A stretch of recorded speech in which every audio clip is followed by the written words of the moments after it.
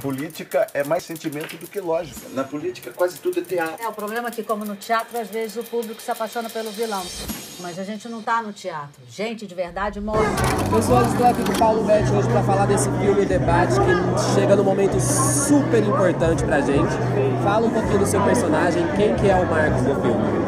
O Marcos, ele é um, ele é um diretor né, de televisão, é jornalista, está um pouco em cima do muro, vai sofrer muitas transformações no transcorrer do filme.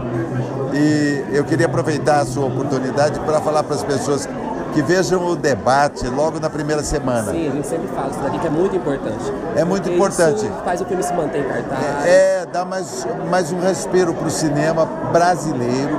Nosso filme é uma tentativa de influenciar o resultado das eleições. Nós temos um candidato. Temos. É, o filme ele entra também num debate muito não só político, mas em casa também. Divide um pouco a opinião, tanto do seu personagem quanto da personagem da Débora. Você acha que isso está em debate também dentro da casa dos brasileiros, das pessoas se dividirem? Porque a política hoje dividiu pessoas, dividiu famílias, dividiu tudo. Sim, claro, é, é, é por isso mesmo. O, de, o que é a proposta do debate é que haja uma, uma, uma conversa mais civilizada, né? Porque o que está acontecendo é que as pessoas estão se recusando a debater. Eu acho que o filme é uma tentativa de conscientizar as pessoas para votarem direito. Que é importante isso, né? O posicionamento político hoje, no momento que a gente está vivendo, é muito importante, né? Muito, muito. Muito obrigado, espero que o filme faça uma carreira muito bonita. E é isso, gente. Vai na primeira semana, é muito, muitíssimo importante. Vocês têm noção, principalmente num filme como esse, que chega no momento de eleição no nosso país. Obrigado, Obrigado. Paulo. Obrigado um prazer.